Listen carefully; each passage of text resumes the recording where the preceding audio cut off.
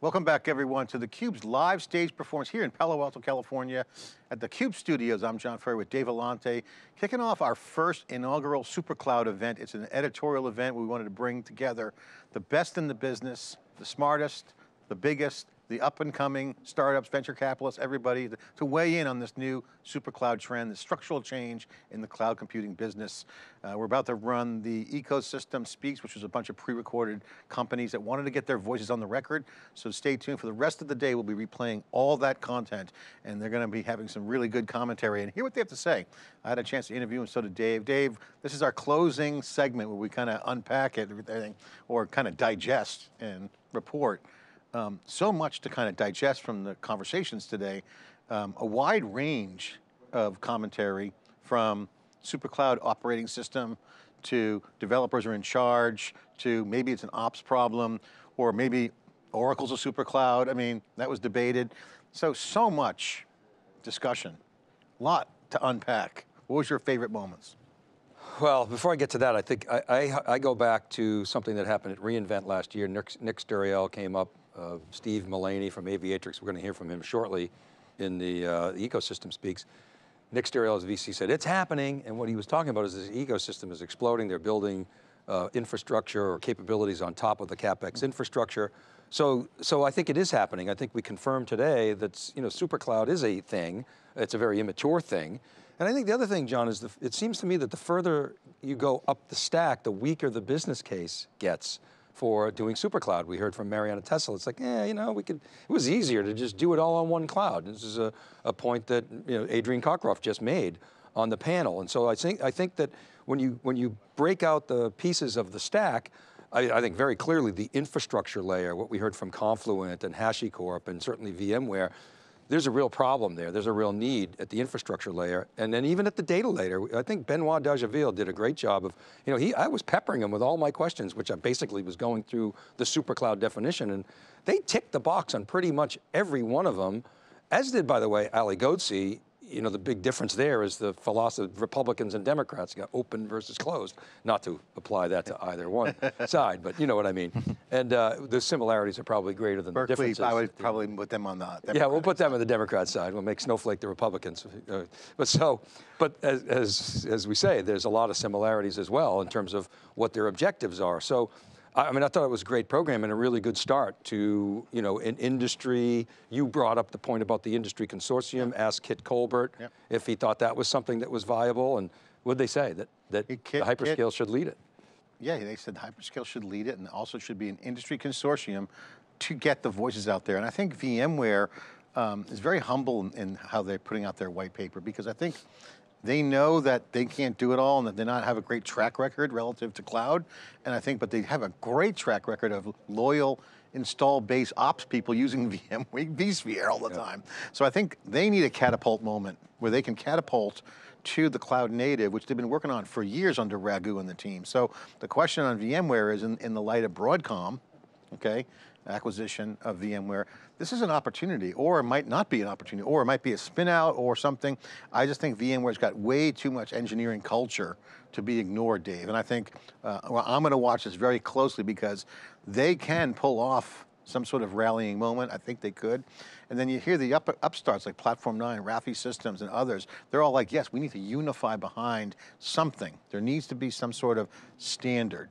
You know, we heard the argument of, you know, more uh, standards bodies type things. So um, it's interesting, maybe the cube could, could be that, but we're going to certainly keep the conversation going. I thought one of the most memorable statements was Vittorio said, we, for VMware, we want our cake, we want to eat it too, and we want to lose weight. So they have a lot of aspirations there. And then, and I thought Adrian Cockcroft said, you know, the devs, they want to get married, they want to marry everybody, and then the, and then the, the ops team, they have to deal with the divorce. Yeah. And, and and I thought that was poignant. It's like they want consistency, they want standards, they, they got to be able to scale. And you know, Lori MacVitty, I'm not sure you agree with this, I'd have to think about it, but she was basically saying, all we've talked about is devs, devs, devs for the last 10 years. Going forward, we're going to be talking about ops. Yeah, and I think one of the things I learned from this day, um, and looking back and some kind of, I've been sauteing with through all the interviews, if you zoom out, for me, it was the epiphany of developers are still in charge. And I, have I've said, you know, the developers are doing great, it's an ops security thing. Not sure I, I, I see that the way I was saying before. I think what I learned was um, the refactoring pattern that's emerging, In Sik Rhee brought this up from Vertex Ventures with Marianna Tessel, nuanced point, but I think he's right on, which is the pattern that's emerging is developers want ease of use tooling, they're driving the change, and I think the developers in the DevOps ethos are never, it's never going to be separated. It's going to be DevOps. That means developers are driving operations and then security. So what I learned was, it's not ops teams leveling up, it's devs redefining what ops is. Mm. I think that to me is where SuperCloud is going to be interesting. Forcing that, yeah. Forcing the mm. change because the structural change is open source is thriving, devs are still in charge, they still want more developers. We need more developers, right? So the developers are in charge, and that's clear. Now, if that happens, if you believe that to be true, the domino effect of that is going to be amazing because then everyone who gets on the wrong side of history, on the ops and security side, is going to be fighting a trend that may not be fightable you know, it might be inevitable. And so the winners, the winners are the ones that are refactoring their business, like Snowflake. Snowflake is a data warehouse that had nothing to do with Amazon at first. It was the developers who said, I'm going to refactor data warehouse on AWS. That is a developer-driven refactorization and a business model. So I think that's the pattern I'm seeing is that this concept refactoring patterns and the developer uh, uh, trajectory is critical.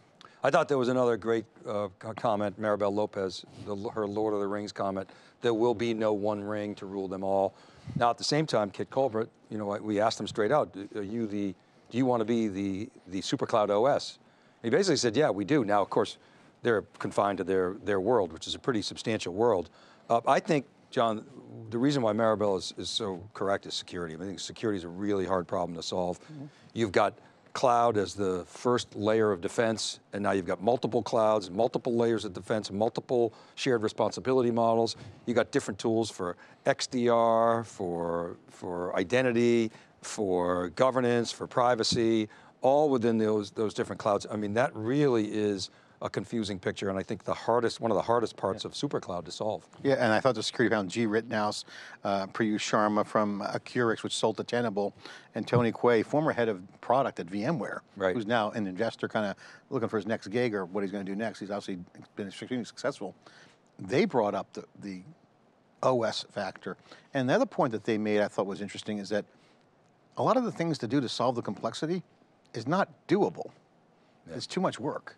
So managed services might feel the bit. So, and Chris Hoff mentioned on the in Clouderati segment that the higher level services being a managed service and differentiating around the service could be um, the key competitive advantage for whoever does it. I think the other thing is, Chris Hoff said, yeah, well, Web3, metaverse, you know, DAO, super clouds, you know, stupor cloud, he called it. And this bring, brings up, it, it, it, resonates because one of the criticisms that Charles Fitzgerald laid on us was, well, it doesn't help to throw out another term. I actually think it does help, and I think the reason it does help is because it's getting people to think. When you ask people about SuperCloud, they automatically, it, it resonates with them. They, they, they play back what they think is the future of cloud. So SuperCloud really talks to the future of cloud. There's a lot of aspects to it that need to be further defined, further thought out. We're getting to the point now where we we can start, begin to say, okay, that is SuperCloud or yep. that isn't SuperCloud. I think that's really right on. I think SuperCloud at the end of the day, for me, from the simplest way to describe it is making sure that the developer experience is so good that the operations just happen. And Marianna Tessel said she's investing in making their developer experience high velocity, very easy. So if you do that, you have to run on premise and on the cloud. So hybrid really is where super cloud is going right now. It's not multi-cloud. Multi-cloud was, that was debunked on this session today. I thought that was clear. Yeah, yeah I mean, I think. It's not about multi-cloud, it's about operationally seamless operations across environments public cloud to on-premise, basically. I think we got consensus across the, the board that multi-cloud you know, is a symptom, Chuck Whitten's thing of multi-cloud by default versus multi, multi-cloud has not been a strategy, Kit Colbert said, up until the last couple of years. Yeah, because people said, oh, we got all these multiple clouds, what do we do with it? And we got this mess that we have to solve. Whereas I think supercloud is something that is a strategy. And then the, the other nuance that I keep bringing up is it's industries that are, as part of their digital transformation, are building clouds. Now, whether or not they become superclouds, I'm not convinced. I mean, what Goldman Sachs is doing, you know, with, with AWS, what Walmart's doing with Azure, connecting their on-prem tools to those public clouds. you know, is that a super cloud? I mean, we're going to have to go back and really look at that definition. It's, is, or is it just kind of a, a SaaS that spans on-prem and, and, and cloud? So as I said, the further you go up the stack, the business case seems to wane a little bit, but there's no question in my mind that from an infrastructure standpoint, to your point about operations, there's a real requirement for super, what we call super cloud. Well, we're going to keep the conversation going, Dave. I want to put a shout out to our founding supporters of this initiative. Again, we put this together really fast, kind of like a pilot series, um, uh, inaugural event. We want to have a face-to-face -face event as an industry event. Want to thank the founding supporters. These are the people who donated their time, their resource to contribute content, ideas, and some, some cash. Not everyone uh, had committed some financial contribution, but we want to recognize the names here. VMware, Intuit, Red Hat, Snowflake, Acera, Alteryx, Confluent, Couchbase, Nutanix, Rafay Systems, SkyHigh Security, Aviatrix, Zscaler, Platform 9, HashiCorp, uh, F5, and, and all the media partners. Without their support, this wouldn't have happened. And there are more people that wanted to weigh in. There was more demand than we could pull off. We'll certainly continue the SuperCloud conversation series here on theCUBE, uh, and we'll add more people in. And now, after this session, the ecosystem speak session, we're going to run all the videos of the big name companies. We have the Nutanix CEOs weighing in, Aviatrix, to name a few. Yeah, let me, let me, let me chime in. I mean, you got Couchbase talking about Edge, Platform 9 is going to be on. Uh, you know, everybody, you know, In Sik was poo-poo and Oracle, but you know, Oracle and Azure, what they did, two technical guys, developers are coming on. We dig into what they did, how we Zhu from Zscaler. Paula Hansen is going to talk about going to market in a multi-cloud world. You mentioned uh, uh, Rajiv, the CEO of Nutanix, Ramesh, is going to talk about multi-cloud infrastructure. So that's going to run now for you know, quite some time here in some of the pre-records. So super excited about that. And I just want to thank the crew. I hope, guys, I hope you have a, a, a list of credits. There's too many of you to mention, but uh, you know, awesome job. So really appreciate the, the work that you did in a very short amount of time. Well, I'm excited. I learned a lot, and my takeaway was that SuperCloud's a thing. There's consensus that people want to talk about it and have real conversations, not BS or FUD. They want to have real substantive conversations. And we're going to enable that on theCUBE. Uh, Dave, final thoughts for you. Well, I mean, as I say, we put this together very quickly. It was really a phenomenal, you know, enlightening experience. I think it confirmed a lot of the concepts and the premises that we've put forth, that David Floyer helped evolve, that a lot of these analysts have helped evolve, that even Charles Fitzgerald, with his antagonism, helped to really sharpen our knives. So, you know, thank you, Charles. And uh, I like and his blog, by the way. I'm a reader. And, and, yeah, absolutely. And it was great to be back in Palo Alto. It was my first time back since yeah. uh, since pre-COVID. So, right. you know, great job.